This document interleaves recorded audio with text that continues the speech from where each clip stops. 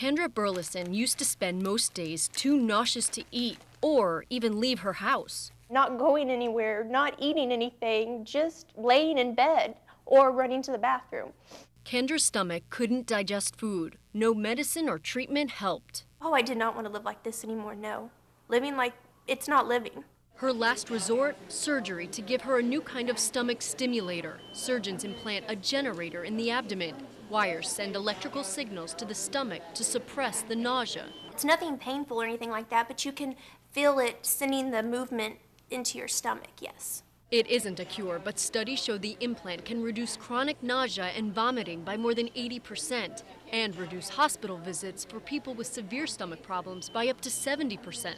By suppressing the nausea, it will work well enough so that they can continue to keep the food down, they can avoid the malnutrition and the dehydration, and they can get on with their lives.